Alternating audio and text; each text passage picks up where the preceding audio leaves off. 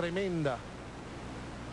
Estos jóvenes que están levantándose ya no van a conocer, por ejemplo, el papel periódico y el periódico en papel. Estoy seguro que no leen periódico en papel. Pero eso no es nuevo. Anunció el periódico The Independent de Londres que a partir de este lunes, ayer, dejaba de sacar su edición en papel. Es la tendencia mundial, por ejemplo. ¿Ustedes sabían eso? No lo sabían. La tendencia mundial es que en un año, dos años, los periódicos en papel serán obsoletos. Y la gente tendrá acceso a la información solo a través de las redes como tenemos hoy. Revísense ustedes hacia adentro. La información que ustedes tienen del país, del mundo y en general de las áreas de conocimiento en las cuales ustedes se mueven, lo, lo adquieren a través de qué? De las redes sociales o de un periódico. Levanten la mano los que lo adquieren a través de las redes sociales. Internet, Twitter, etc. Levanten la mano los que lo adquieren a través de un periódico. Los que están aquí. Ah, todavía hay una gentecita, bueno, los más mayorcitos, pues.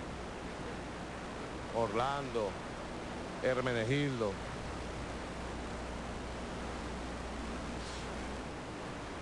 Es una realidad.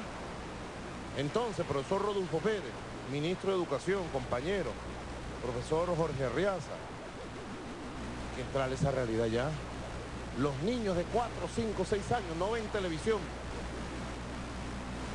Ven redes a través de la tableta del papá o la mamá o del teléfono celular. ¿O miento? Son las realidades de un mundo. ¿Cuánto cambió el siglo XX? La realidad tecnológica de la vida nuestra.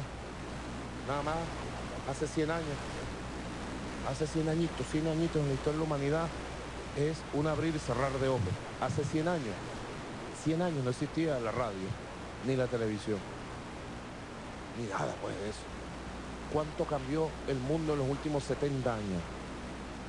Y el mundo cambia casi por día hoy por hoy.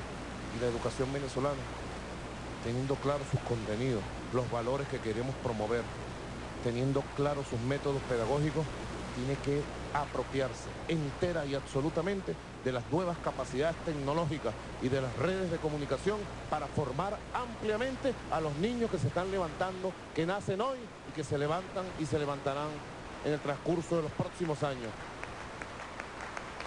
¿Cuántos antivalores se cuelan sin ningún